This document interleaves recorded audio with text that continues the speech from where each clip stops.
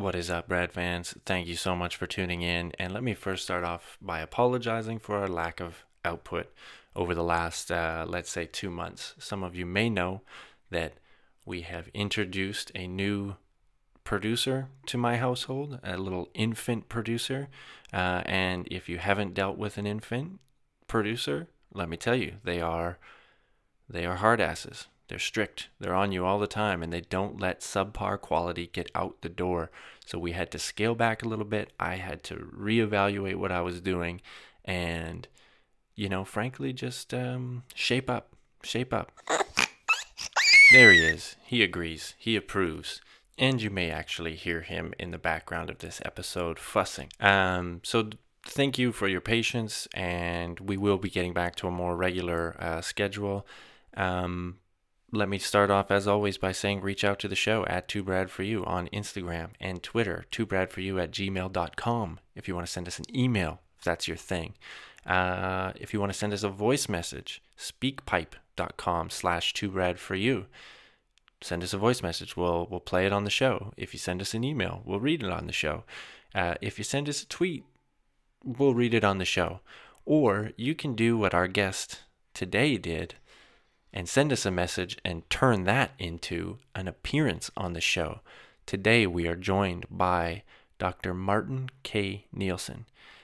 I met Martin years ago um, at a parasitology conference. He is a veterinary parasitologist. He specializes in equine research, equine parasites, so horsies, horsies for all you horse fans out there.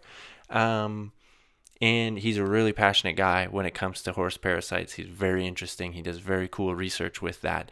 But that isn't really what we were here to talk about today because Martin reached out to us on Twitter to well, first tell us what how much he loves the show, of course. Thank you, Martin.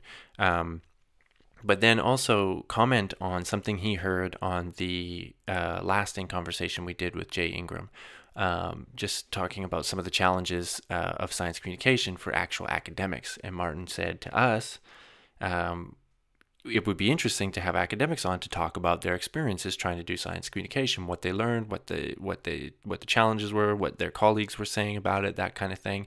And so I said to him, "Why don't you come on and start that conversation and talk about that kind of stuff?" And he said, "I would love to." And here we are. So this is like lessons from the ivory tower on how to get that message out. Um, so Martin talks about his experience, uh, what he hears from his colleagues and stuff, and we turn that into a broader conversation about restoring faith in in expertise in this sort of post fact world to use a term we hear in the post in the popular media a lot. Um, what what is it what what do you do you know? And martin has a specific audience the horse community uh, ranchers that kind of thing that, that follow his stuff but he's learned some things about crafting a message for that audience and that the things that he's learned i think can be applied to um, science communication more broadly and just in general to this idea like i said of trying to restore faith in the experts. You know, these people do this science for for a living and they're really good at it, and we should listen to them when they have something to say about a topic. Um, he's learned some things about using sort of much maligned platforms such as Facebook. You know, I'm, I'm the first to shit on Facebook, uh, but he's found a really nice way of of using that to connect with his audience where they are uh, using Facebook groups. So that was an interesting uh, lesson that came out of this. Um, and he's just a pleasure to talk to. Martin is uh, always, uh, he's always been really nice to me, um, really gracious with his time. And like I said, his enthusiasm shines through in everything that he does. So it's, it's a real treat to have him on. I hope that we do it again. Um, and you can follow him on Twitter at Martin K. Nielsen on Twitter which Nielsen, as he points out in the episode, is spelt the Danish way. Uh, N I E L S E N, so Martin K. Nielsen. He is originally from Denmark. Uh, on Twitter, you can find him on YouTube as well. Martin K. Nielsen Equine Parasitology is the name of his channel, and he's putting up videos there on all things equine parasitology. It's really quite interesting to see his journey into into making videos and he's got his own little style now going and his page and I think it's really great. And he also runs the um, Gluck Equine Research Center Facebook page. So just look for Gluck that's luck with a G Equine Research Center. Uh, look it up on Facebook and you'll get all the stuff that's coming out of that um, center where he works. So not just parasitology uh, it's all things horses. Um, infectious diseases uh, with horses and things like that. Um, yeah, I think that's everything. So, like I said, do what Martin did and get in touch with us either on Instagram or Twitter at 2brad4u. You can send us an email, 2brad4u at gmail.com, or you can send us a voice message using speakpipe.com slash 2brad4u. All of that is on our website, 2brad4u.wordpress.com. You can go there. We will link to all of Martin's stuff. And that's it. That's all, eh? Did I get everything, Henrik? Beautiful. Here's my conversation with Dr. Martin Nielsen.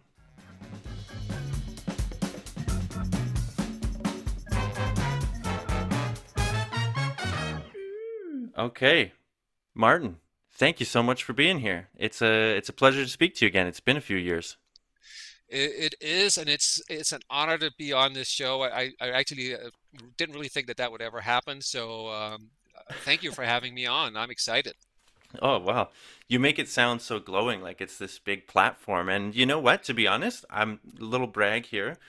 In the end of 2020, the last month, December, we had sort of our highest level of engagement. We were getting around 800, 900 people downloading the show. So wow, it's getting bigger. It, and, it, it is. It is.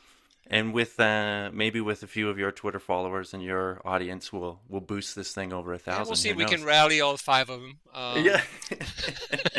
well, I don't think you should be so modest yourself because. Well, let me.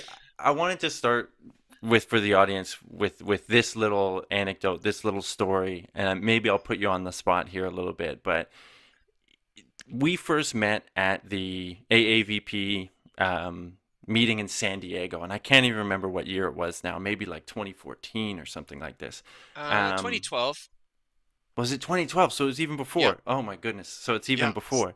It's this was ago. yeah. it's a veterinary parasitology conference. It was in San Diego, and it was me, my first conference, my first international conference, big conference uh, as a grad student. So I had shown up there. Uh, it's also where I happened to meet, you know, our mutual friend and the co-host of this show, Brad. Yeah, um, that's where I met the both of you for the first time. Yeah, yeah, yeah, yeah. But I was just I, I wanted to say this uh, for our audience that there was a first night, you know, sort of people gathering in the lobby, having a few drinks and stuff. I didn't know anybody.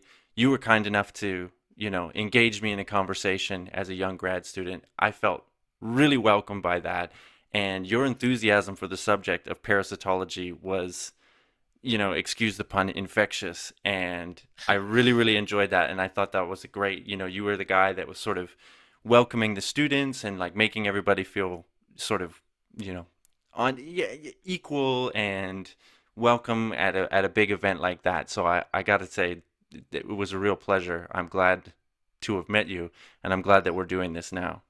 Well, I, I appreciate the the comments. Uh, um, I I do recall the, those conversations where we were talking about the, the, the fascinating life cycle of the parasite that you were working on, and that's a whole story in itself that we maybe that's that's for another another episode of this podcast. Yeah, yeah, definitely. that is fascinating. It's really, really interesting once you once you get into the nerdy details of that. So I, I, remember talking about it. I also think that the society, the the organization that's organizing this conference, that's really the culture. What you were describing, uh, you know, is really the whole culture of the conference. That that all the, the the established people are very accessible, very open and as a student you you we at least try to not make the students feel any intimidated by just walking up to someone in a coffee break or over a beer and, and having a chat and I, I think this this having grown up as a student in the organization myself um, i think it's and I've gone to different conferences uh, both before and after. I've never really come across a conference that has the same culture.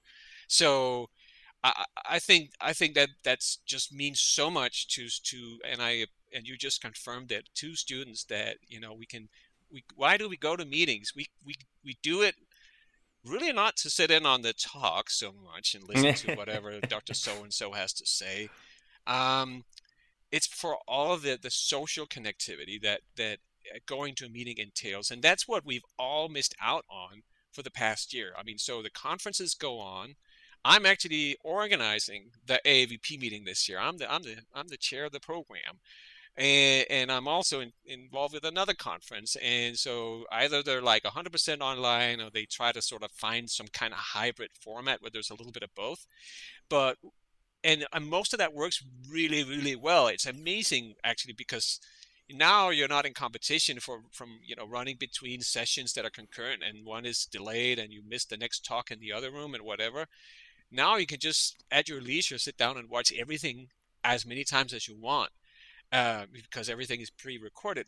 But what we cannot replicate in the online format is this whole social session setting. It just isn't possible. And and so I think you know we're, we're, all looking forward to getting back to that. Um, I know that really wasn't the topic of what we were going to talk about today, but but in some way it is because it's yeah. it's all about how you communicate, right? So how do you communicate about science? Do, eh, eh, the way I try to think about it, as someone who who hustles with it, is there's just so many different formats, platforms, audiences, and methods. In every every one of those, you have to kind of shape your approach to because it's different. Like whether the who you talk to, how you do it, what your messages are, what the recipient at the other end, what they know, what they don't know, what they're interested in. All of that changes every time you're on a new platform, and I think that's the big challenge nowadays, because mm-hmm. the platforms are getting more. Mm-hmm. Mm-hmm. Yeah. Well, and that's this idea of science communication i mean it's like and i want to thank you for reaching out to us on twitter and, and bringing up the topic because it is a it is a tricky one and it's one that um, you know you speak with academics about it and usually the academics that i am speaking to about it by nature are interested in science communication or at least see some value in it and attempt to do it. But it's not that's not sort of the you know the i would say the majority even probably of academics um, that see that value in it or want to do it. And, you know, so before you even get to the questions of like how to do it, platforms, you mentioned audience. This is these are all great things that I talk about in workshops that I give to grad students and stuff too. Yeah. But like before you even get to that, it's it's should you do it? Why do you want to do it? Should academics be, you know, taking the time to do this? And you mentioned some of the things like uh, before we started recording and in our back and forth on email and Twitter, you know, this idea of like there's no there's no sort of push from your job or your establishment, your university to sort of help you in that, whether that's, you know, money, time off to do it, sort of encouragement, maybe workshops or anything like that. Yeah, I, I mean, I, I, think some uh, university administrators would probably strongly agree to uh, to those some of those statements that you just made because I think any university will certainly have something in place. There is a communication department or office, and there's newsletters, and they and they all try to have a presence on social media. Um, departments, individual departments may also have their own social media pages, et cetera, et cetera. So it's not like there isn't anything. Uh, um, there's certainly a recognition that things have to be communicated. Um, I think, I think as as the scientist in the midst of it, I, I think you you'll find different attitudes to how it should be done, how much time you should spend on it, what how much of it is is your responsibility as the scientist in the game or how much of it is really just someone else's job you know who sits at the communication office and is tasked with writing a little facebook post or something for a newsletter and is reaching out to you and go hey dr nielsen i saw you just published this paper. Can you give me give me three bullet points? So i think i think there's there's that. I mean it's not that it doesn't exist and i also think that there most institutions will have um, some kind of workshop or offering uh, or training or something in these things. I guess there's probably huge differences between institutions as to how much emphasis and how much they invest in all of this, but you know, I think it's it's a harsh statement to say that there's nothing, mm. and I know that wasn't was what what you were saying, but you know, um, it could maybe have have come across as as a little bit along those lines, and so so that's that's the the first thing, but. So I think one thing I, I picked up on was actually really sparked me to reach out to you was your your episode when you had Jay Ingram. Ingram, I mean, you've had him on for several uh, episodes, I realized, mm-hmm. and I, I, also learned that he's a big celebrity in Canada. Yeah. Um, um and again, biggest Canadian men- celebrity ever to be on the show. Yeah, and a, and a great mentor to you. Mm-hmm. But so, uh, but in the most recent episode, which was somewhere in the fall of 2020, you guys were talking a little bit about, and he made the statement that you know a lot of times the scientists don't really get any credit for the the, the scientific communication part of their of their job. Mm-hmm. And I think that is correct. I think that's maybe where there is an issue, at least, because um, so we all get we're all you know under evaluation all the time for our productivity, our output, and so I get evaluated on how many papers I put out, the quality of those papers, uh, how many students that I graduate, um, then how many grants and how much money I can I can accumulate, any patents, any any disclosures into public repositories as such as a, like a genetic sequence of something that got described in one of our studies. All of those things is just like you can count okay how many of those how many of those how many and then presentations are and things are such a, along the, those lines are in there. And and we all upload this material to this this portal and then it gets actually reviewed by a committee and there's a recommendation and I actually have my yearly meeting tomorrow morning so we'll see how how Ooh. that went. Um, so there won't be enough time to slip this episode in there oh i don't know. No maybe. we can put that in the next round. Yeah. but but so so so it is in there. There's there's a category in a drop down menu in that system where you upload all of your things. So you put all of your papers, all of your presentations, everything in there. There's actually also a category for videos. So it's not like it's not uh, recognized, and you you put it in there, but it it feels like to me as someone who does maybe more than than average that it doesn't really count very much. It's like, okay, you're also doing that good, but uh, it's really sort of down the list of priorities when it gets evaluated. Mm-hmm. So, so, so, so that's a little bit part of it. And so, I am someone who's. It's my strong personal opinion that science isn't worth anything if you're not able to communicate it in an understandable manner to the regular person who might be interested in it. And and um, I think kind of also depends maybe a little bit on the scientific discipline. Mine tends to be very sort of applied and hands-on. Okay, how do you go about deworming your horse kind of a deal, right? So that's something that people can relate to if they have a horse or if they are like veterinarians for people who have horses, then then um, then I have my audience right there. I guess if you do more basic science, uh, it might be a little bit more challenging to make it relevant to the society. Um, so so maybe it's easier for me it's mm-hmm. maybe it's easier for me to to make the statement that you should always be able to distill your latest study into something at least an overview and it could be the three bullet points i just mentioned and then um, and then make it understandable to people and and we still i think as scientists today we're still often accused of, despite all of our, our newsletters and our social media presence, etc., we still get accused of being, you know, stuck in our ivory towers and and you know I've often heard my department referred to as the world's best kept secret, which hurts. it really hurts someone like me to hear that. Yeah. And so even though the information is out there, um, people don't necessarily see it.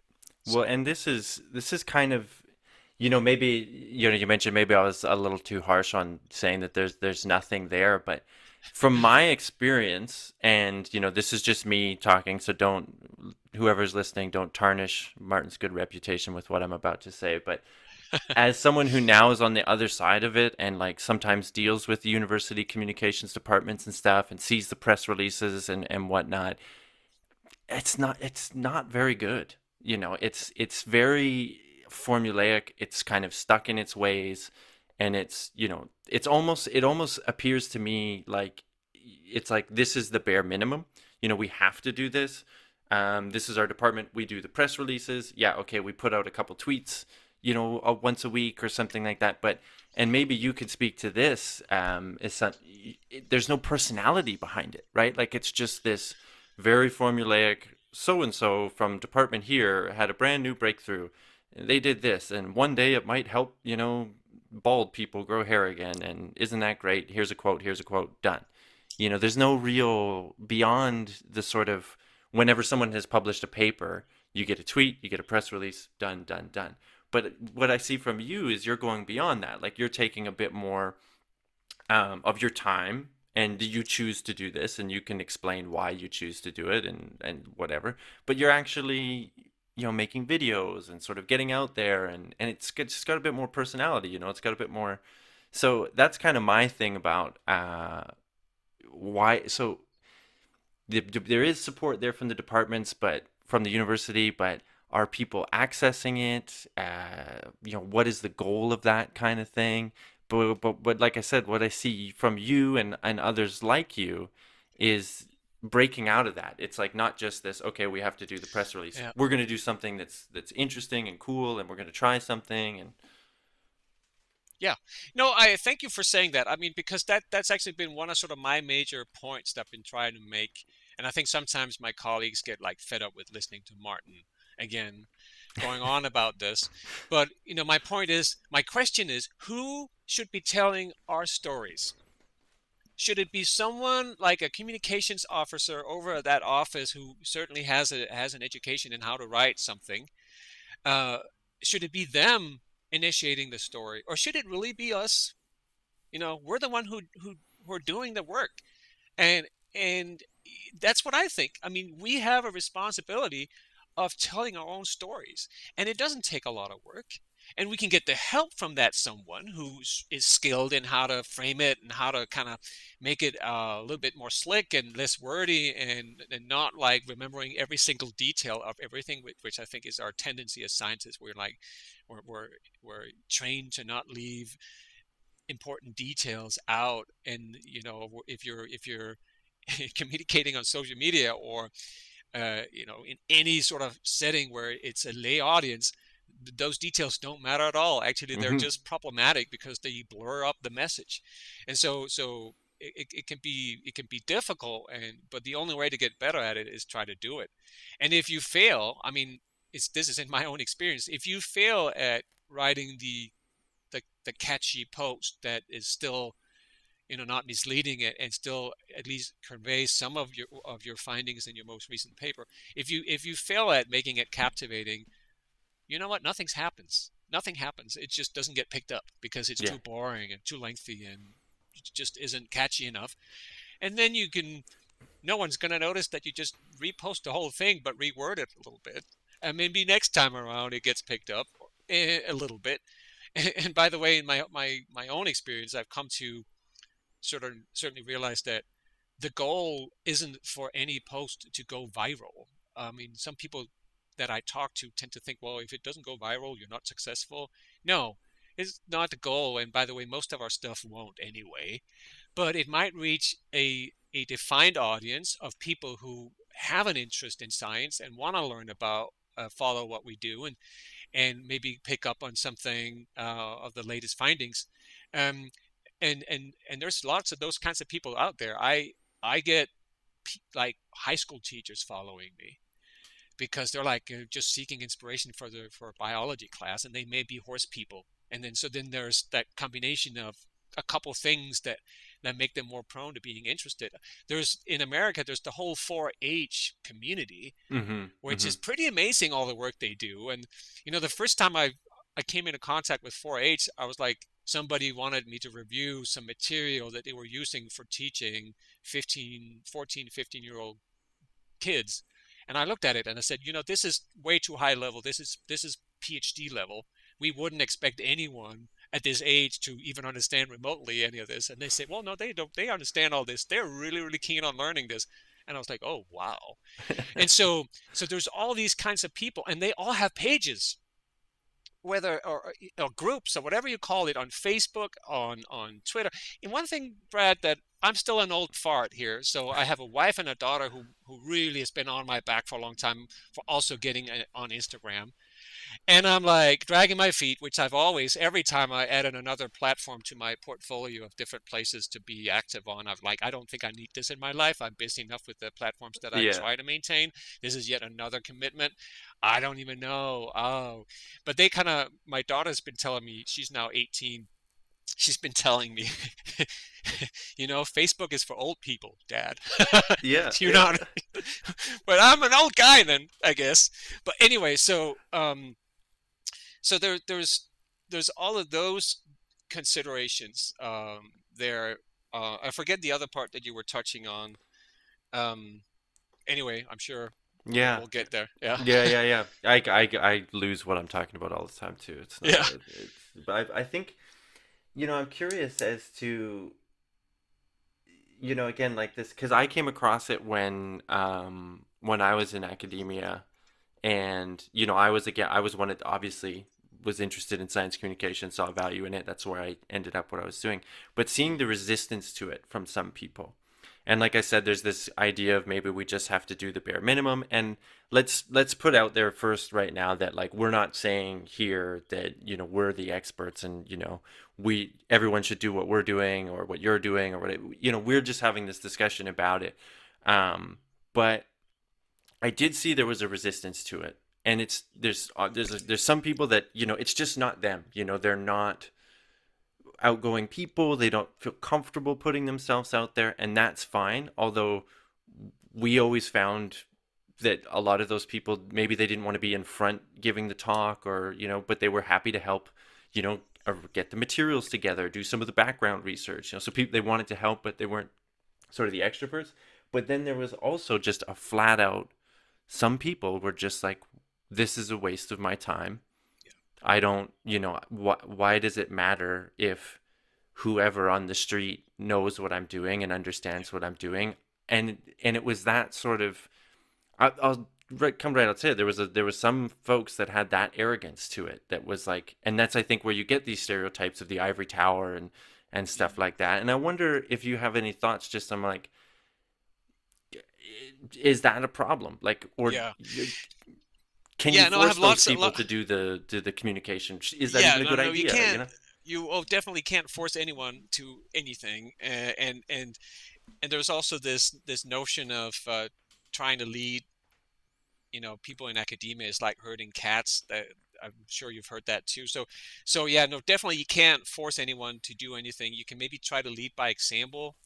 Um, and which is sort of what I'm trying to do. But what you that what you just described, your analysis of the situation is is is very much my own experience. So so in, in thinking of it, there's a there's a bunch of different reasons to be um, a little hesitant, uh, to put it mildly, to in, to spend a lot of time with on science communication. So there is um, well, there, there, there's the fear of, of being on social media. So, I mean, the older generation, even though Facebook is for old people, there's still a lot of us. I mean, I'm, you know, I'm mid middle aged. I know you refer to yourself as middle aged. That's not right, Brad. You're young. I am 48, right? So I'm sort of right in the middle. Yeah. And and I have colleagues that are mostly older than me. Um, and a lot of them are not on social media and and they have reasons for not being on social media. They're not comfortable. They're afraid of the um, the, the trolls that they hear about are on there and just waiting to be annoying and make stupid comments, and and they're also worried about the so-called sh- shitstorms. And so that that something gets the wrong attention from the wrong people and we do animal research here so and sometimes we even euthanize animals and so what about PETA? What about those groups? Mm-hmm. and and and some of those concerns are legitimate right? I mean you cannot just brush them aside and say oh yeah that's not a problem. And so you, you kind of have to at least have the the monitoring in place to ensure that people are comfortable. So so that's certainly one set of, of concerns is, is is all of that. Um and and and then it's just yeah do i do i have to do it is it really necessary for me that's another attitude that you find, uh, you know, at least among some people. Um, I really don't think there's any argument for that attitude. Honestly, I, I, I think, as I said before, my you know science isn't worth any anything if it doesn't get communicated to the right people. I mean, to the to the end user people, not just to other scientists. Mm-hmm. Um, and so, and I think you know, if you ask sort of in all the official places, there's no way anyone would disagree with that statement. And even if you look at the federal funding agencies here, like NIH, for example, in all of their programs, they have a huge emphasis on how does this information gets communicated to K through 12, to society, to people out there. Um, and you need to emphasize that in your in your proposals right? It's more than just writing that lay summary that you and jay were talking about. There's actually has to be okay how can some of this information get in the hands of people that are in education or are so-called end users of of what you're working on? So there's certainly there's certainly emphasis enough but yet there are people who feel you know they're worried about the time consumption that they um, you know are going to waste way too much time on it and they're busy enough anyway. Uh, teaching loads have only gotten heavier with uh, online teaching, and then there's all the grant proposals that tend to take more and more time. And then you also have to finish your work and supervise your students and get your papers written and blah blah blah. There's all of that, and then there's the you mentioned the word extrovert, uh, introvert. That's actually something that I hadn't really thought about very much up until recently. I actually was interviewing for a job, um, and someone said to me uh, that most scientists, if anything, tend to maybe be more introvert than extrovert. That kind of, I think the, the, the, the, academic method, how you work, how you sort of nerd and you dig down into the mm-hmm. deep, deep detail level of, of your subject, sort of speaks to that introvert personality. It's definitely and the that, stereotype so, for sure yeah and so so if you are that type of personality and then you're probably less keen on the whole idea of getting up there and you know posting things on on your on your on social media accounts or you know making videos which is eh, in my experience certainly the most effective way of reaching a large a large audience. Videos just tend to get more uh, attention than most other types of posts. Um, and and so there's also that and so forcing people um, is never the way to go. One thought that i had about it was to well every lab in in our department has students and postdocs that tend to be younger tend to have grown up more with these these electronic media and are more comfortable more familiar. And so i've kind of been trying to just not talk to the pis but talk to the students and you know whenever i see one of them publish a paper i saw that just this morning somebody from another group and i say hey that's great congratulations. Do you want to send me just a couple lines and i'll put it on the on the departmental facebook page? And you know, and then it's up to them to get their PI to approve it if they feel like they have to.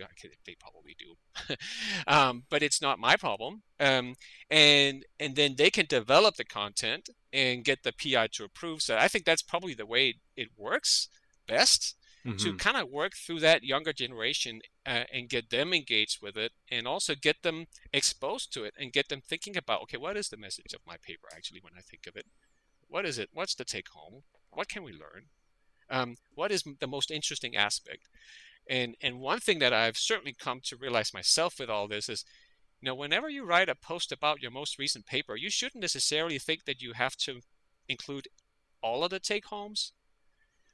Um, take home messages, you know, maybe one or two of them makes it for a much more interesting post uh, than trying to capture and embrace everything, which again, like I said, we're we're sort of trained to do. So so there's also this: how do you best do it? Is is two or three posts better than one? Maybe sometimes they are. I mean, so anyway, so so there was the personality aspect of it as well. Um, but I, I I do feel in my department here that I'm pretty much alone with you know being the guy who wants to do all these things and mm-hmm. wants to encourage others to do them as well.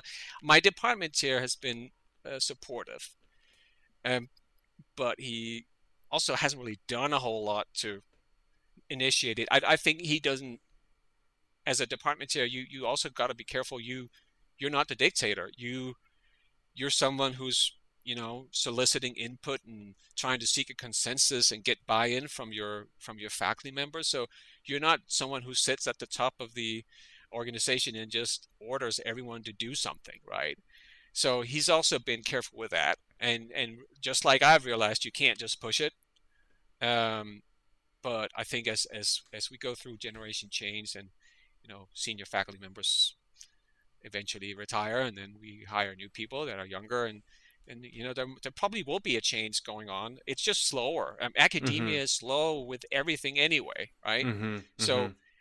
you know it, it is going in in the right direction um, but just albeit slowly here's yeah. here's a thought um and it's like okay let's sort of you have an audience that you've described that you you know tailor a lot of your stuff to the horse community we'll say um, mm-hmm. and it's a very specific audience but I, in thinking about science communication, sort of let's let's zoom way out, right? And you've mentioned a couple times that science isn't worth anything unless it, it's communicated, and that's kind of the, you know, the idea I want to play with here is this the, the bigger sort of maybe philosophical of of communicating science and, and some of the challenges and stuff because if you look at some of the challenges that the world faces right now well pick pick one you know politics whatever the, the pandemic uh, climate change all of these things there seems to be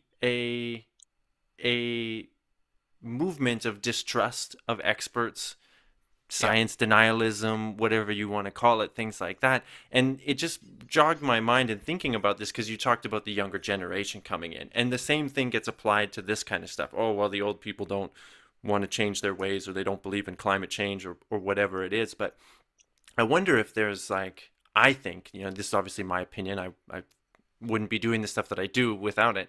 But there really does need to be a culture change in terms of getting back to looking at science and scientists as you know people that we trust people that you know the the information is there. And how do we how do we do that through yeah, science that's, communication that's, you know? Yeah that's uh, that's excellent. That's an excellent point. And it is a big challenge to us and it's not going to go away this this skepticism towards science. And i think some of that is is a self-inflicted wound so it's part of it is our own fault and our own responsibility as scientists. The the number one thing I have strong opinions against, and some people listening, if if there's any, uh, will disagree with me on this, but the preprint preprint publication, uh, you know, approach that we've seen in recent years. I think it's deeply problematic. So if mm. okay, so if you're listening, you don't know what that is, preprint preprint publication. I can't even pronounce it. Yeah. But anyway, pre-print publication. So the I it started as sort of a little bit of a, an objection to to the big publishers. So like the, these that the journals, the scientific journals that publish our papers, that they we use you know before when the paper's approved, you kind of sign off on on this little form that that turns over the, the copyrights to them. So then all of a sudden they own the content that you worked your butt off to to you know, to generate. And the only thing they did was just to put it in their journal, and mm-hmm. then all of a sudden they own it. And so people were objecting to that, that that's fundamentally wrong. Uh, I mean, it should be the scientists who own the content, and so as and to make it available freely. That's the other thing. Yeah, right? it's like once the yeah. publishers have it, if I wanted to look up your latest paper, I might have to pay 50 bucks or something in some cases you know so yeah there's, so, there's, so that, there's the open there's the subscription movement. model there versus the open access which is kind of related but also a little bit separate but but so the, the the protest was okay but there are no rules against publishing our our, our paper before it goes through the peer review process and gets edited and gets typeset and set up for, for publishing right because we still own that and that is allowed so there are these places where people can do that. So that, and and they're doing this like to a big extent. Now, um, that's not peer reviewed. Okay, so th- so there hasn't been a couple people with expertise in that topic uh, reviewing the paper and going, okay, is this solid? Are they kind of jumping to conclusions here? Are they cherry picking a little bit? Is that is the data are the data analyzed correctly? All of those things that that that reviewers look for. That mm-hmm. hasn't happened. Now, that's not a perfect system. Gosh, there's a lot of published papers out there that you know kind of slip through the cracks for whatever reason. Uh, we're all just humans, and sometimes as an editor, I work for one of the journals, Veterinary Parasitology. I'm one of the editors in chief there. Gosh, it can be difficult to even find people who have the time to do mm-hmm. that to review the paper, and it's voluntary. You don't get anything for it. You know, it's even anonymous, so you can't even you can't list it anywhere. So yeah. back to the problem of not getting credit for things. Anyway, um, what I think we've seen with COVID, the whole pandemic, is that the weakness in the preprint model is that if you're just someone who's quite controversial and but wants to kind of get the attention of media and just sort of get out there before anyone else with crappy research, you can just get a preprint out. There's no check and balance there. Mm-hmm. And that happened. I mean, the, the hydroxychloroquine with that mm-hmm. guy in France, I mean, that was just baloney research. But a few people uh, you know, with a big following on social media, no names mentioned, picked up on that, and then all of a sudden you had people treat trying to treat themselves with stuff to clean aquariums with and all that stupid stuff. Yeah, yeah. But but but so and then you get the contradiction. Okay, one paper came out, could still be reasonably good science, but you know you can't do everything right necessarily in just a single study, and there's always other aspects to evaluate. And so the next paper comes out, and by a first glance, it looks like the conclusion is the exact opposite. That's just a scientific process. It's how it goes. And then you get more and more papers done. And finally, somebody can do a meta analysis across all of the papers and then find out what the consensus is uh, in, a, in an appropriate manner. But, but people aren't. The, the, the public. And so we want to communicate about the science, but at the same time, this the science you know watching it real time happening and watching that iterative process of okay one study done next study done the third study done and then newspapers trying to pick up on them and write a new story things get very confusing very quickly and it, i can see how it causes some people to all of a sudden lose trust in science because they these scientists don't seem to agree and these all of these different studies are like pointing in all kinds of directions and there's really very little sense to make of it while it's going on right? And so so i think that's been a big problem and, I, and to me a big revelation. I have not to this date published anything in a preprint. Mm. i am an old fashioned fart. So even though I, some reviewers do a crappy job i only publish mine i make them and i only write my uh, my social media post once a paper is fully accepted and, and online Right. And then I, I publish it when with the link to that paper. Mm-hmm. So so I think that's certainly a big sort of issue that um, that we're part of. And then the other part that I also think we're guilty of, and you and Jay Ingram talked about this, how scientists write their scientific papers. And I like what Jay was saying there. He was saying, well, there's there's just a tendency to make things look as complicated as possible by using this this obscure language that no one really seems to understand and full of abbreviations that you kind of have to go back and okay I E D C I X Y what was that again and try to find where it's mentioned the first time in the paper. So again a lot of people might disagree with me. There's a number of different ways to write a scientific paper. I often get criticized for being too plain mm. in my language because I write first person. Right. We found that's a that no-no. Our results show that. That's how I write my papers. And I sometimes get told, no, no, no, it has to be third person passive tense. No, it doesn't. Yeah. And there's no point. So what are you accomplishing by that? What does that help? Mm-hmm. Does that help anything? No, it doesn't. It, it just makes it more cumbersome to read. What? Why do we want to do that? And so, uh, again, in in other people's defense, I think my work tends to be pretty simple. I'm a simple mind it's pretty you know it's not rocket science what i do it's like poking at a pile of poop with a stick most of the time just kind of i'm a parasitologist right? So maybe it's easier for me. I, I'm, I'm pretty sure it is easier for me. But i think it's something we can all think about. How do you write a paper? When i wrote my my phd dissertation I got criticized for my lay language, but they couldn't, you know, they couldn't fail me. the like, science okay, was still good. It's it's a matter of style, right? Yeah. We can discuss different styles. That's fine, but you can't you can't like knock me down for it. But I, I do think we also have a responsibility there. I mean, it's tempting to just want things to look very complex and complicated because it makes your science look more significant. Bit of ego there, you know, we're all human. Uh, well, I mean, sometimes if, if it comes across as as very very simple, you might get the question from a reviewer. Okay, so is there even enough merit in this work to warrant publication of this? Right. Yeah. And so maybe there's a little bit of bias there. So I think I think we really as scientists also need to kind of think about you know how we do how we even communicate scientifically i mean we we opened this this podcast talking about science communication so you know from scientists to to society if you will but there's also scientists to scientists communication uh, that i still think we could definitely improve on and uh, i thought the statistics that jay ingram was mentioning in that in that episode of, of the, the number he asked you like what how many different abbreviations do you think there's you know has been have been introduced in scientific papers over the past I can't remember how many years. Yeah, you, right. Yeah. You threw a number out that was way off. It was way higher, and it was like how many of those have been used more than X number of times, and it was like such a small percentage. So people just like invent these terms. I I'm also old fashioned. I hate abbreviations in my papers. I would rather write the words fecal egg counts eight times than you know write it out only the first time and then and then FEC FEC. Yeah. You see.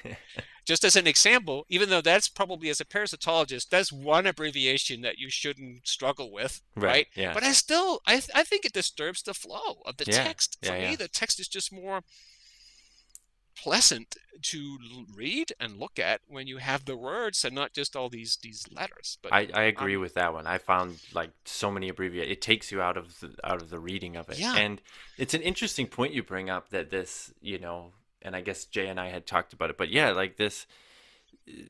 Why why is science for the scientists let's say you know the the the paper the, the journal papers the peer reviewed journal papers because i don't think we expect anyone you know, sort of, we kind of started this section of the conversation saying, you know, the public, a better scientific literacy amongst the public might be better to help society and some of these things. But it's not realistic to, to get to think that everybody uh, is going to start reading scientific journals, even if they were free, even if the peer reviewed process, um, the publishers made them all free to everybody, right? But there's, I still think there is value in what you're saying um, in terms of, yeah, like you said, scientist to scientist. How might that improve? um, cooperation between different mm. fields, different departments, that kind of thing. But then also for journalists, right? Like I'm coming at science journalism with a pretty good understanding of science, having done my PhD and how it's written and how it goes. You know, so I feel like I've got a leg up on some other people in this field um, in terms of shifting through like the bullshit, right? Like all that crappy writing. Um, but this is where maybe that that disconnect in terms of you know like you said with the hydroxychloroquine example or something you know there's translating that what results and what is important and what actually happened and what it actually means uh, from this academese whatever you want to call it to you know sort of the layperson if the first step the actual journal paper was much more accessible was much easier to understand maybe that whole process goes better you know yeah. But yeah, I mean, there, there's just no perfect solution. And so, you know, the the preprint model. I mean, one point to that is that the paper is fully accessible. You can you can look at it, you can read it, and depending on how it's written, you might make some sense of it, or maybe uh, a lot of sense, and maybe not no sense at all. I mean, it can be difficult for a layperson to read, but the paper's there.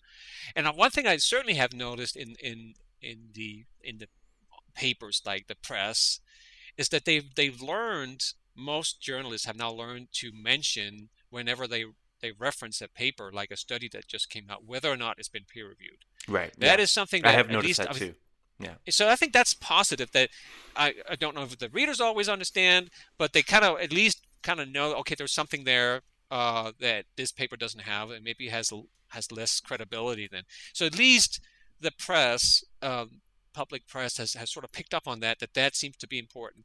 And i think it's helped like people like anthony fauci that um, you know would would uh, he, there was he he was like witnessing in front of congress where they asked him all these questions um, but then you know it's difficult sometimes because someone found this paper i think it was on hydroxychloroquine again um, or maybe it was remdesivir. I can't remember. One of these things uh, from a big group here in America, the the Ford Foundation, that had published, and it was peer reviewed. So you know, you ticked all the boxes. It looked like there was like evidence for an effect of the whatever the modality was. I think it was chloroquine. Um, and then, so they were throwing that in the face of uh, Fauci, and, and he said, "Well, it doesn't matter because the study was flawed." Yeah. And they were like, but but but what? Yeah. And, and so and because a lot of these patients had also received dexamethasone, which we know helps.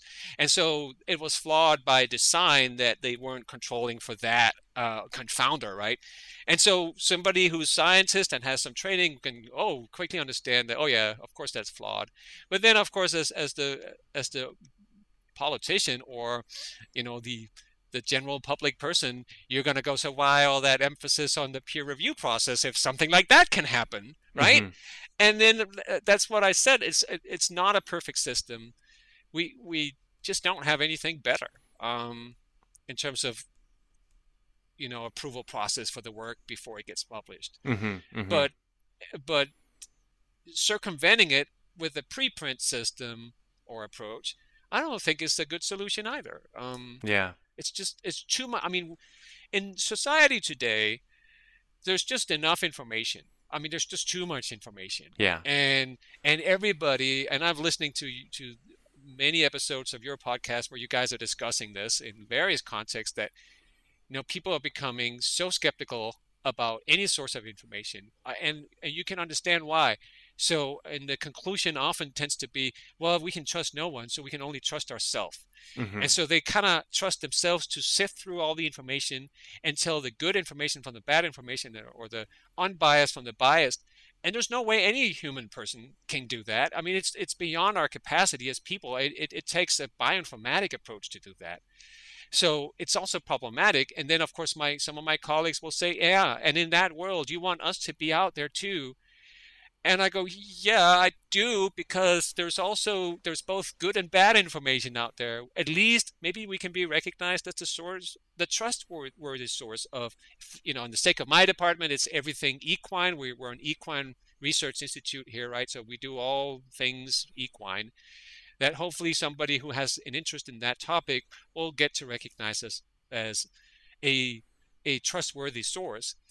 And, and, but we're going to be out there in the middle of everything else, in the middle of conspiracy theories and all crazy kinds of stuff. Mm-hmm. So I can definitely understand where the reluctance is coming from.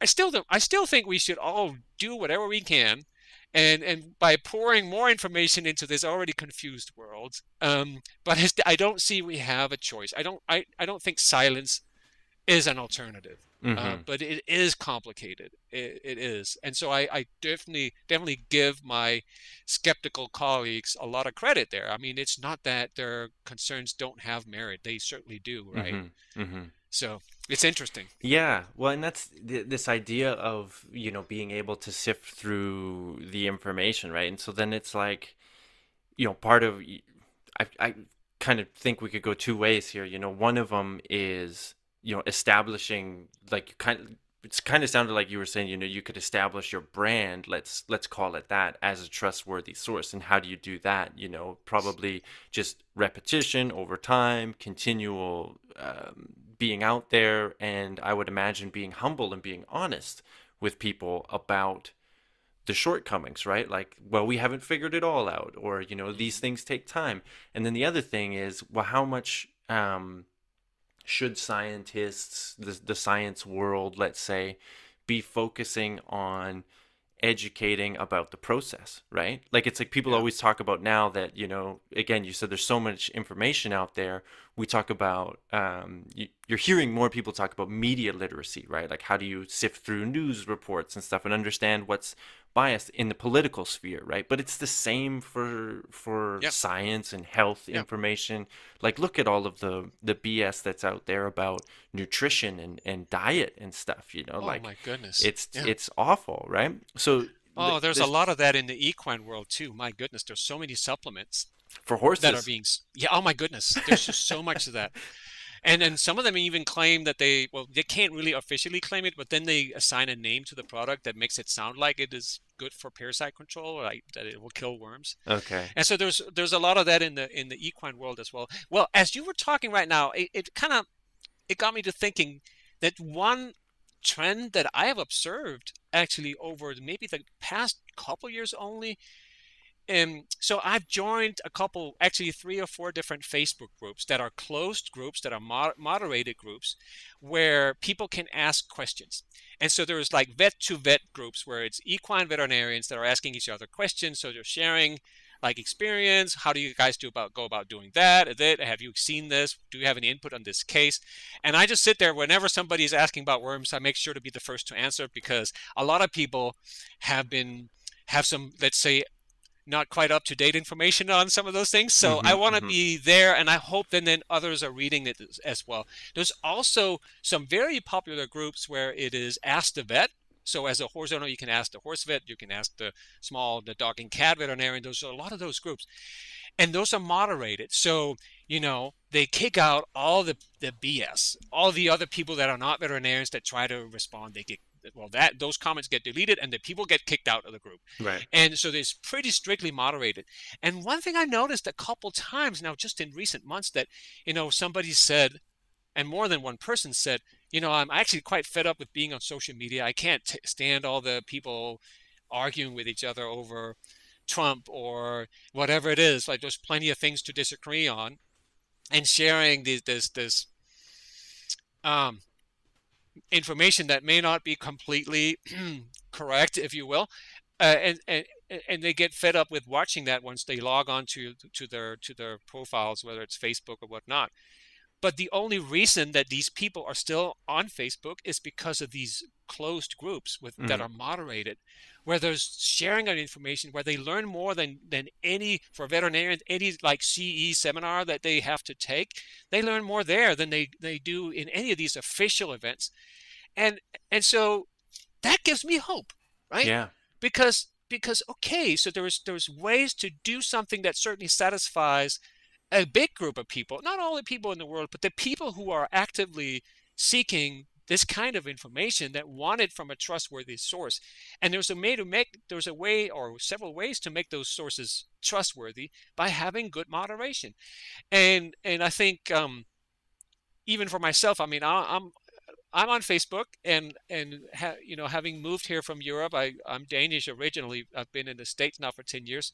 It's been a good way for me to keep contact with family and friends, and Mhm. sharing some pictures so they can follow what we're doing, and we can see what they're doing, and it has it sort of helped us as a family.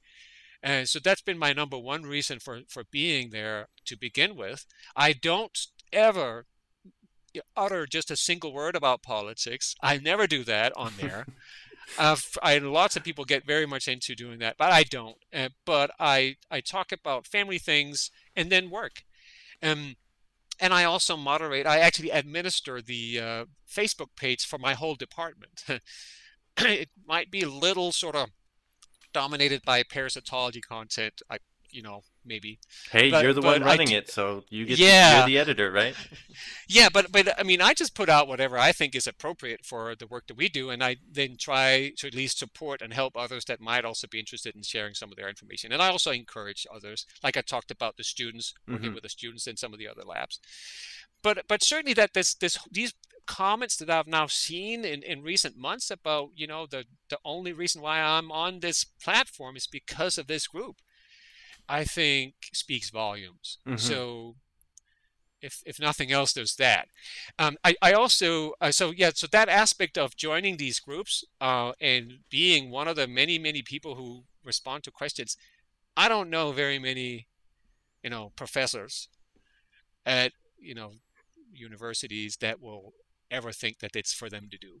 Mhm. There's a couple of my colleagues that are on there, like in in various places. So there, there are other people like me Um, but I think it's an excellent venue because not only, even in, in uh, Ask the Vet groups where it's horse owners asking vets questions, there's other vets in there. Then they read, we read each other's responses. And then there's this administration page that we're also members of. And so if there's anything that, you know, didn't make sense or, you know, where we might, we actually might want somebody specific to maybe chime in, we can, we can alert them there and we can have a background discussion without all of the followers watching.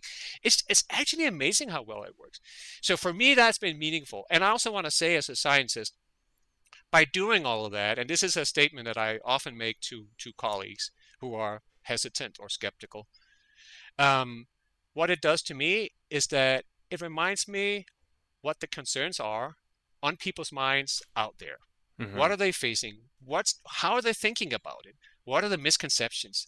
Where are the knowledge gaps? Um, or how could I maybe disprove this claim that someone else is making all the time that annoys the heck out of me mm-hmm. because I don't think it's right, but also I can't really disprove it because I don't have the data. So there's such a constant source of inspiration for me in my research and also my next seminar, my next video that I might be making, um, because I I now know what you know a commonly asked question is or a common misconception or something that a lot of people are thinking about. And that certainly helps sharpen your communication right? When you know that you know your audience. So for me it's been a way to get to know my audience better. And by audience i mean both horse owners and veterinarians. Actually honestly if it's just between you and me uh, horse owners often get parasitology much better than than the paras- than the veterinarians do. I think there's an interesting psychology there because horse owners approach it by with a total total open mind. Just tell me anything, I'm willing to learn. Like at least the horse owners who would sign up sign up to a page like that, right? And they don't have this I already know something about this attitude. As a veterinarian, you know that I, you're supposed to know something about it, you've learned something. It might be decades ago or just a few years. If you haven't really boosted that knowledge, you've forgotten most of it, but you tend to have a little bit more of a defensive attitude. I would as well, right? Mm-hmm, so I'm, mm-hmm. I'm, no better than anyone else. I just think it's a fundamental, you're, you're, the, the mentality that you approach a situation with affects how much you pick up on the information.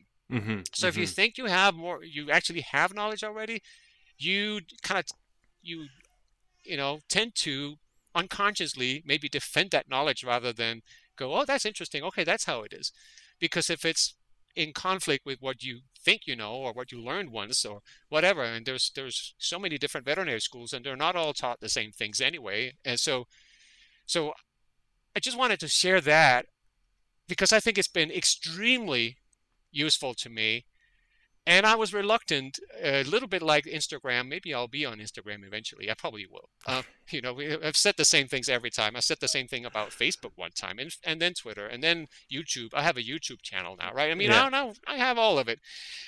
that I also thought about signing up for this big group of that's called Horse Vet Corner.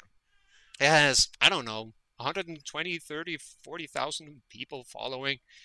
Whether that would take too much of my time, but it just ended up being like part of my routine. I check my social media. I, I go onto the group. I search for the word worm, most recent posts. If there's nothing there, then you know I'll I'll be fine. If there's something, I usually can respond very quickly. Mm-hmm. I, it doesn't take long, um, and it's worth it. So so at least I wanted to share that.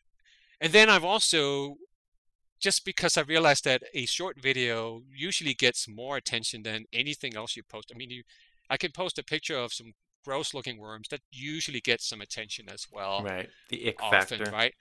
Yeah. But a video of me talking and showing a few things um, really, really helps. And so some people criticize me for being oh so full of myself and i love to see myself on the screen and i just want to put myself front and center all the time and it's all about martin martin martin um I, there may be. I mean, I may actually like it. I, I, I won't deny that. There's nothing uh, wrong with that. Hey, that's why I do no, this too. I love the yeah, sound of my own voice, right? Like.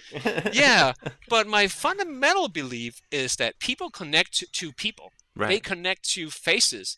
You have to put a face to the name, um, and and I, I do have some some colleagues who go, well, the science should speak for itself. It it shouldn't matter who the person behind is. No, it matters. Mm-hmm. It does matter that it's this lab, and I try to do. I, I I try to actually promote my students too. It's not just always about me. It's also, you know, my this student just published her paper, and then a picture of her, mm-hmm. and and one picture from either her be doing the work or like one of the graphs or something that is meaningful and and to to post alongside with a little blurb about what was found, and then the link to the paper. Um, so I try also to promote my students. I hope I do a pretty good job. Uh, for me, it's actually more important to promote the students because they're on the threshold of, you know, their careers and, and, and getting out there. And also I task them with trying to develop the content because that is so different than writing that abstract for the next scientific conference or the whole paper for that matter is so different. You have to really tune into a, an entirely different channel, which I think is what actually gets me excited. I think that's so fascinating. Uh, so I, I start talking about, I started talking about the different platforms and the different audiences and how you need to shape it every time and think about uh, how should I say this and how, what should I leave out and how can I simplify uh, the message without losing, uh, losing it. Right. And so, so that's fascinating. So with the videos, I, you know, I, I've I've been, been on a journey and I've made a lot of I've made a bunch of bad videos, really, really pathetic videos. And so you shouldn't be afraid to embarrass yourself is my point. So I may love watching myself on a video, but I also don't have anything against really making a fool of myself, mm-hmm. and I've done that many times. You have to be. So that's this, part of it too, right? Like you have yeah. to be willing to have that humility, and, and then and then reflect on it and be self-critical. So one thought, one at one thought I had got I had the idea like and in hindsight this was so wrong but I thought well people's attention span is so short so you have to make the videos ultra short like uh, 45 seconds 60 seconds max yeah. and then really only one point one major point one major drive home take home message per video and then let that be it. So I developed this whole series of videos that I called deworm debunk. So I took like a lot of the misconceptions that I had seen like as I talked about people asking questions and and sort of demonstrating their their misconception, which is there's so many things in equine parasite control that's so common.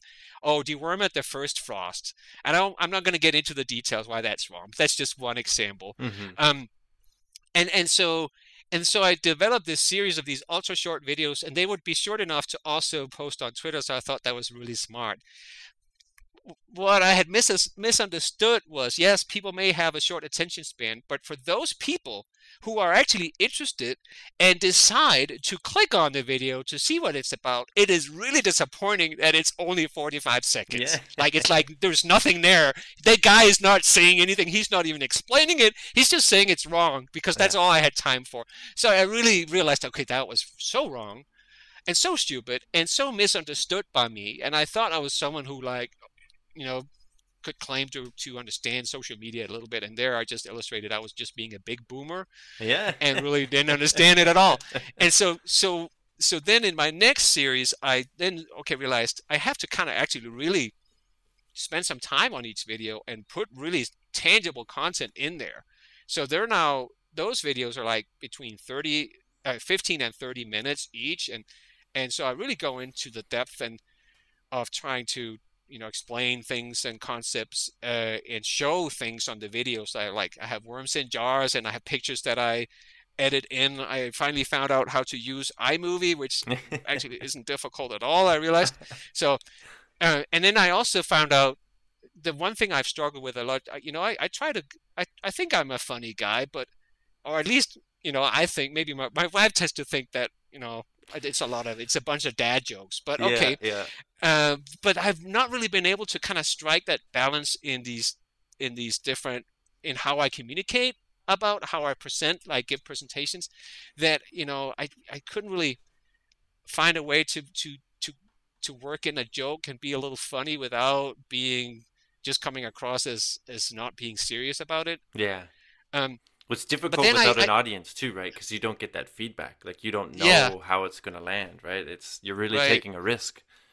Yeah, but so yes, but you should be willing to take that risk. Mm-hmm. So so what I tried in my most recent series was from actually from this COVID spring last year, was to go all right, forget about it. Let me just work in a few really really silly jokes and see how that's taken. Like really really like the only kind of joke I could ever come up with. I, you know, I don't have like the sophisticated jokes, so it's really just like really dad jokes. Yeah, yeah. And people loved it. Yeah, yeah. They really loved it. And then so and you could you could do that. You could go from like cranking out a stupid joke like that and then go on to some pretty serious content. Okay, let me explain why this is wrong. And here are a few facts. And then go back to doing something really goofy and silly. And it worked. So so I think I found my style in these videos. Now I want to do another series this spring. It's just like I keep thinking, well, maybe next week I'll start having more time, but ah, Never that's never going to happen. Yeah. Uh, but anyway, so I, I I will, and people have requested more videos of those uh, of those sort of in those in that kind of style where I'm just sitting in my lab, and I try to do them one shot because I'm too lazy to sit back afterwards and edit them. So just one shot, and if I if I forget something, uh, what what uh, who cares, right? Yeah. People will maybe not even notice. I might be a bit rambling, a bit disorganized, but that's just my personality. yeah, yeah. Um, so, so, so I've also just sort of come, you know, I've learned along the way, and I'm still pretty much a boomer. Uh, I, I, but I, you know, I have mostly white hair now, and um, my my kids are certainly reminding me all the time that I am a boomer. But I think even as a boomer, you can you can you can be in that space and make it meaningful. At least Yeah. I believe it is. So, Yeah. Well, I mean, you touched on so many things there. Like it's, yeah, you.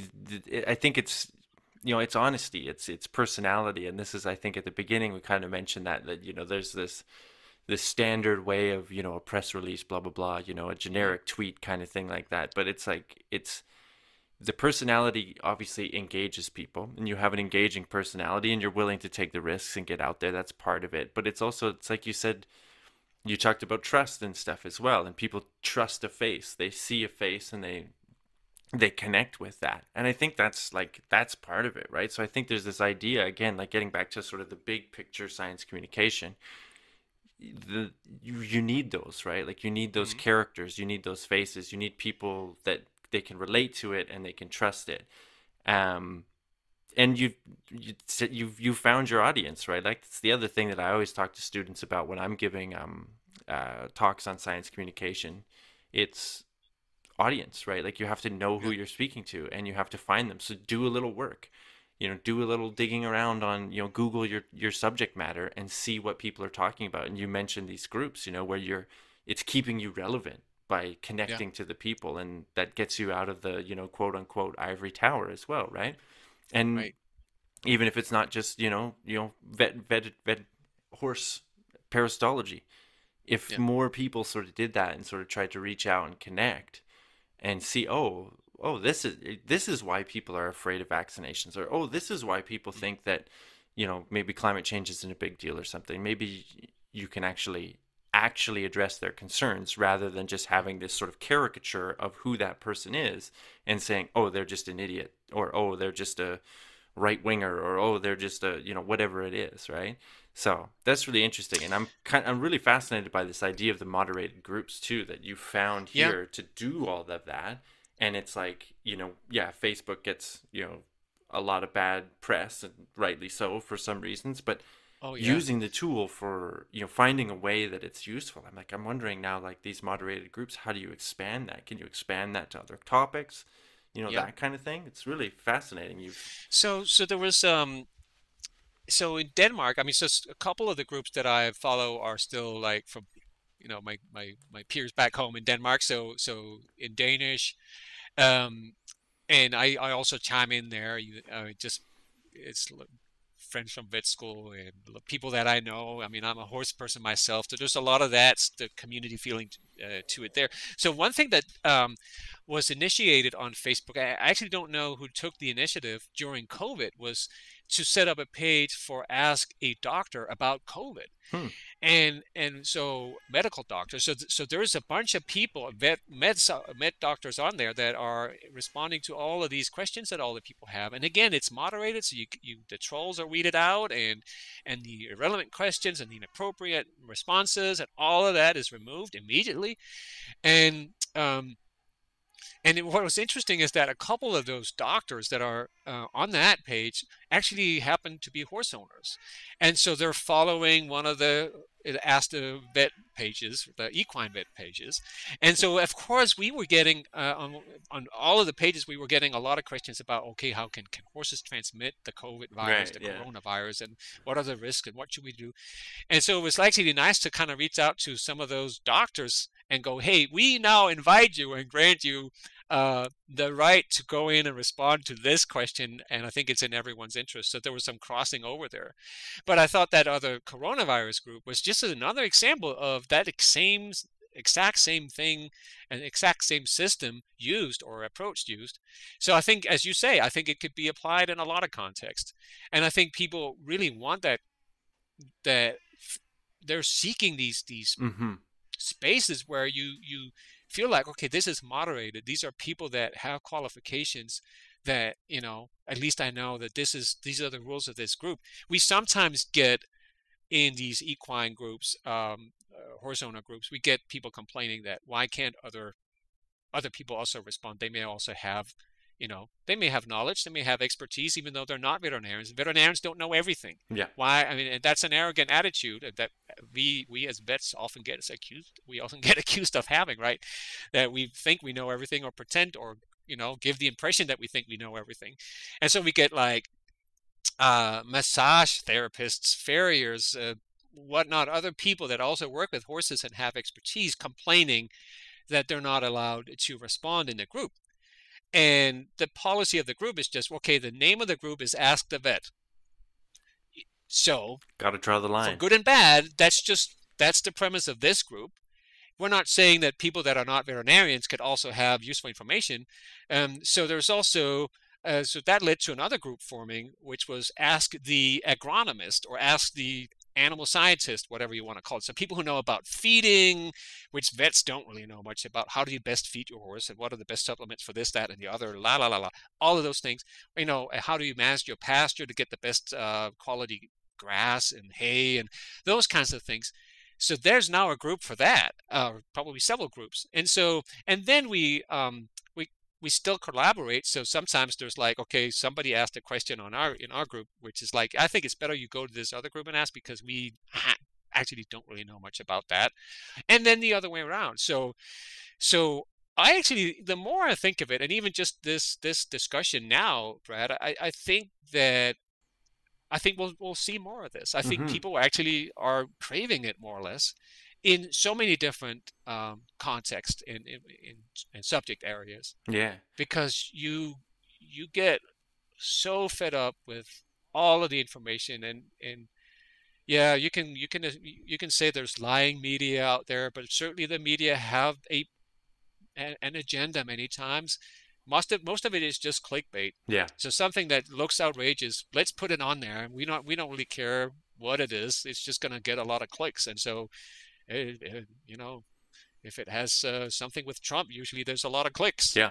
Yeah. regardless of how irrelevant it is and and also the latest study that found this or the new variant that seems ever so dangerous and then when the when you look at the paper that's referenced well that's actually not really saying anything it's just there's another variant we don't know how it's going to pan out yet but yeah potentially but there's a lot of potential things and so things get taken out of proportion and and I think so. So someone who's sitting there and worried about those variants, there's now uh, probably several Facebook groups in different countries. I don't know in Germany, probably also Germany, right? I, why wouldn't there be? Yeah. Germans are not that different from Danes. I mean, Danes are always a little smarter, but but for the most part, the Germans are okay. Um, uh, so so if you're someone who is not, who's now worried about these variants and you want to you want somewhere to go and ask the question, you can't just go to your local doctor. That's not like you just they don't have like you can't call them and ask questions. It's right. the secretary who answers the phone. But you can go to these Facebook pages, mm-hmm. and that really helps. Yeah. So, anyway, so I do think that uh, you know that's maybe the most positive that that I've seen in this whole space because you can you can lose enthusiasm if you want to sort of look at it from a glass glass half empty uh, point of view, right? Or the whole communication, the whole there's too much information anyway. So so what what what does it help to put more information out? which is really the skeptical sort of attitude to have, right? Mm-hmm. But I don't. That's not how I look at it, and I hope that's that's been made clear. Uh, I'm I'm the glass half full kind of a guy, and, and I certainly think there's. I think it's an obligation Yeah. for us to be out there, and it shouldn't just be that person over in the communications office who's doing it for us, so we can say we, we've ticked the box. They can help, and they and they may want to still put that that old-fashioned press release out. That there's nothing wrong with that. Um, That has that serves a purpose. It it definitely yeah, serves but a purpose. but it's it's a it's a supplement, right? And they can supplement these different um, different uh, activities can supplement each other. So so um, so certainly it's and I also make try to really make that clear when I when I discuss these things uh, internally here at the university is to because I the, the people that are most interested in talking with me about it are those communications officers, the people working in, in in those offices, and so I want to make sure that I'm not saying that we don't need them yeah, of course. uh, yeah. because we really really need them, but but that the approach could be could be different from what it is, and they all say, oh yeah, they would really really welcome if the scientists would come to them with ideas for the next whatever message post news release whatever it's going to be and not the other way around right. because they feel like they have to come knocking our doors and you send an email to dr so and so they just ignore Right. and they go oh covid it's uh, you know i've been busy you know it's just all this always that excuse they try and knock their doors and then they're like oh i'm too busy right now i can't talk but when you come back and and so and then they feel like really uncomfortable like disturbing these busy people that apparently just don't have the time and there's only so many times you can come knock their doors or send them an email. And so so yeah they would love a, situ- a scenario where the information would just automatically come to them instead of instead of it working the other way around. Yeah, and that's maybe like you, you know maybe I was a, a little harsh as well in my earlier comments about it because I could imagine the scenario of you know someone in the comms department who signs on with the university with great ideas of like oh we could do this outreach we could do that like what about this? Has anyone ever thought of that? And then just constantly chasing people trying to get them to to to get interested and get on board and getting no response how Yeah. difficult that would be but um, Yeah. yeah it's like you said like if it goes the other way if people realize that hey this department is here not just to produce press releases we can maybe collaborate on something and do something. And the jumping back to the facebook group there thing for a minute it's all about like you're meeting people where they where they are and where they want to be met. You're finding the need that they need. You're not just like we said assuming oh this is the information you want which i think is Yeah. really fascinating. And i know facebook like one of their again for better or for worse the the ills of facebook are well known but this was a thing that they really encouraged or was trying to promote was groups right and it kind of Mhm. got out of control with some of the groups that were let's say not moderated not truthful yeah dealing in in inform- garbage information but Yeah. the platform has power there in terms of Yeah. bringing people together in groups so how do you best effectively do that and i think like what you're describing is a way and then the question is you know how do you brand it as this is reliable versus the next group? Because there's going to be thousands of groups right? Yeah. But I, I think and, and that just gets back to how it's how it's moderated what the rules are in the group. Mhm. because everyone can cite that and go okay in this group this is how they run it and then you as a potential follower can decide whether you want to follow or not mm-hmm. and and and, and that's been how it's working there's another thought uh, thing i thought about just now that i wanted to maybe touch upon before we uh before we wrap it up Mhm. um so my wife and, and so one of the reasons why i'm this much into the whole communication aspect is that i have a lovely wife whose education is in communication and so and, and actually culture and communication is her is her university degree so she's taught me most of what i can oh now it becomes obvious She's my mentor. She needs. She deserves all the credit, right? But uh, she's also worked at both um, when we were still in Denmark, but also here in in publishing uh, with scientists in various uh, outlets. So we had like a newsletter here that she worked on here at the university. She also worked for a couple different equine magazines, and there's always this section of latest science, uh, the latest research, whatever, right? One thing that I've I know that she's experienced is it's so hard to work with a scientist as a journalist because many of them are not comfortable with this simplifying the message uh, and maybe even leaving leaving parts out of the story uh, and there's just so much pushback to that and and I, I think what what we and I do count myself in here. I'm, I'm not necessarily. I don't want to come across as a, as the guy who thinks he's just better than anyone else in all of this.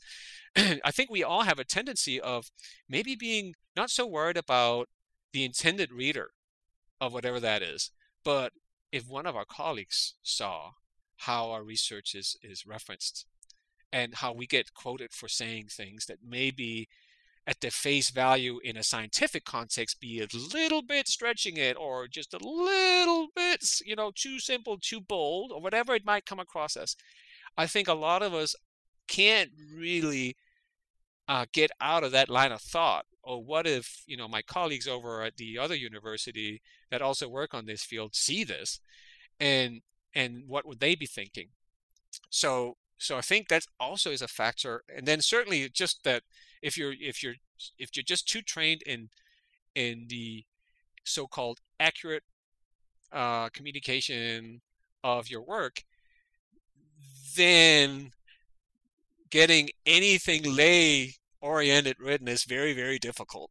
And so this back and forth, and certainly something that my wife has experienced a lot, and she finally ended up leaving the the newsletter because she uh, she felt like it was so cumbersome to just get a single piece finally approved because there's this back and forth between the the scientist and then her and back and forth before they were happy with it um, and this constant conflict from just coming from two very very different angles and in some cases just not even them really even understanding what she was trying to do and then certainly not appreciating it as being helpful um, so so she's now doing like she's she's doing a horse a dog magazine now. she's like um, just to do something different, but um, um, it's it's tough and cumbersome to work with scientists. We tend to be very cumbersome people.